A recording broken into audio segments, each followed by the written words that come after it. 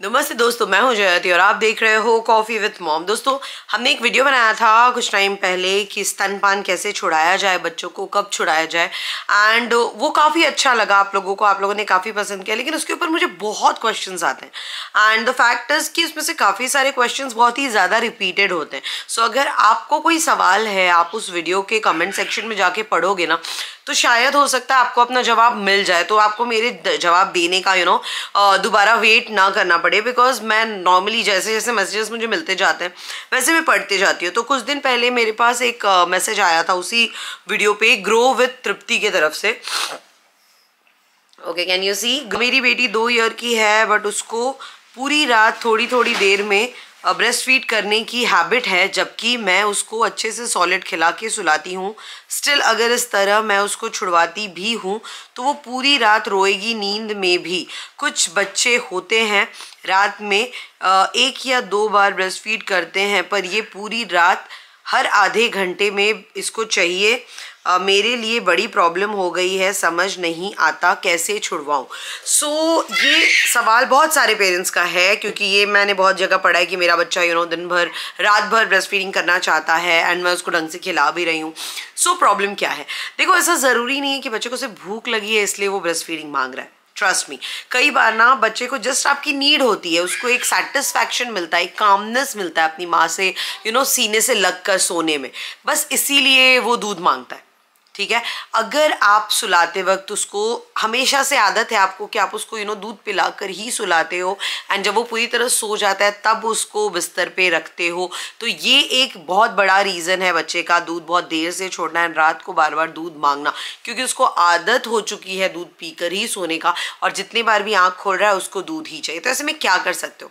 सबसे पहला ऑफकोर्स जो बेसिक चीज़ है, आपको ये ध्यान रखना है कि बच्चे का पेट भरा होना चाहिए राइट दूसरी बात, उसको ना दूध पिलाओ। बस ऐसे ही अपने सीने से लगा कर रखो, जब उसको नींद आ रही है ना। बस लगा कर रखो और सुलाते रहो। धीरे धीरे ना उसको ये समझ में आ जाएगा कि सिर्फ़ दूध पीना ही एक तरीका नहीं है मम्मी के पास रहने का। आप बिना दूध पिए भी मम्मी के पास रह सकते हो। राइट? तो इससे वो आराम से, चैन से सोना शुरू कर देगा। ठीक है? इसके बाद अगर आपको लग रहा है कि फिर भी वो कभी कभी मांग रहा है तो आप बिल्कुल रेस्ट्रिक्ट कर दो। नहीं मतलब नहीं। आप बस उसको ऐसे करके ठोकते रहो, सो जाएगा। बहुत चिल्लाएगा, जिद करेगा। स्टार्टिंग में वो हर बच्चा करता है। तुरंत बच्चा बात मान जाए तो फिर वो बच्चा ही क्या राइट तो वो जिद करेगा, रोएगा, चिल्लाएगा। लेकिन फिर आप ऐसे करते करते करते करते उससे प्यार से सहलाते रहो उसे प्यार से सुलाते रहो, वो सो जाएगा। आपको परेशान होने की ज़रूरत नहीं है।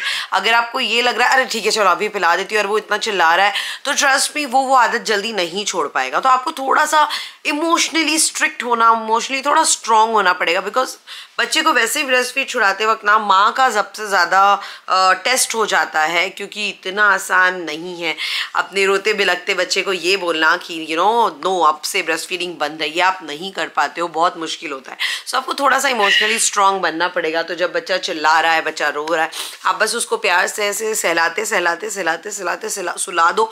मत पिलाओ धीरे धीरे उसकी वो आदत छूट जाएगी। ट्रस्ट मी ट्राई करके देखो एंड ये आपको बहुत काम आएगा। ज़्यादा से ज़्यादा एक हफ़्ता से दस दिन, इससे ज़्यादा नहीं लगेगा बच्चे का कंप्लीटली छोड़ देना। इससे पहले अपने फैमिली मेंबर से बात करो बिकॉज़ ना मोस्ट ऑफ़ द टाइम ना फैमिली ही प्रॉब्लम क्रिएट कर देते हैं। अरे, वो रो रहा है, उसको दे दो। अरे, वो रो रहा है, उसको पिला दो। प्लीज़ अपने अपने फैमिली से पहले ही बात कर लो कि you know this is the scene हमें उसको छुड़वाना है तो वो थोड़ा रोएगा, थोड़ा परेशान होगा। You guys have to support me आप ऐसा कर पाओगे तो आप आराम से छुड़ा पाओगे बिना किसी टेंशन के। Thank you so much for watching coffee with mom keep watching